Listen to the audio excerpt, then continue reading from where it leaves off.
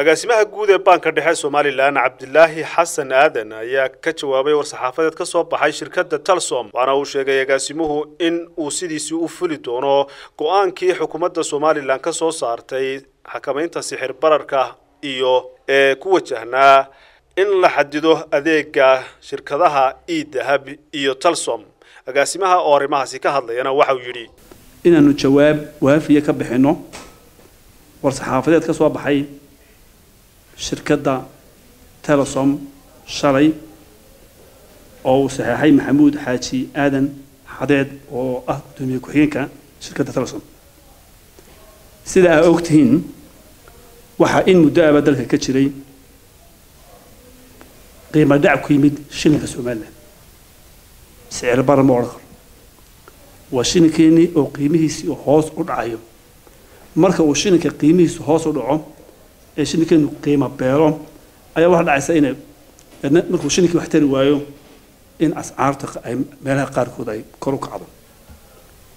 Sida uu dhigayo qodobka labiyo soddonaad ee xeerka baanka dhexe ee jamhuuriyadda somalilan lacagta sharciga ah ee dalkani leeyahay iyo halbeegu waa shilinka somalilan. Ta mushkiladda keentay waxa weeye markii uu noqday aalad lacagta lagu kaydiyo iyo aalad wax lagu kala iibsado.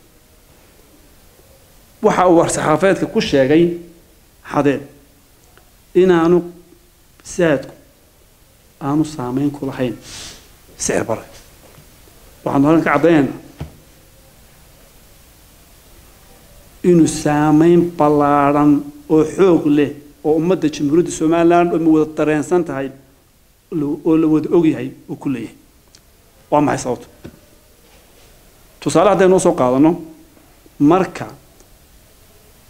qof lacag dibadda looga soo diro waddankeenu wuxuu ku shaqeeyaa laba lacag. Shilinkana wuu ku shaqeeyaa doolarkana wuu ku shaqeeyaa de waxa sidii markii dowladdii hore ay burburtay soomaaliya dee waxaa aada u koray doolarka laakiin lacagteennuna way shaqaynaysay labada isbarbar soconayay way isu dheeli tiraayeen ninkii dibadda lacagta looga soo diro iyo ninka mushaharka lagu siiyo mid waliba meel uu raalli ku yahay ayuu wax lagu kala iibsanayay. Wuxuu keenay boqolka doolar ama kontonka doolar la soo diro ee ama xawaalada ama lagu soo hagaajiyo ama lagu soo hagaajiyo xawaalada dahabshiil. Qofku marka uu xawaalada ka soo baxo waxa uu samayn jiray ugu yaraan labaatan ama toban buu sarifnay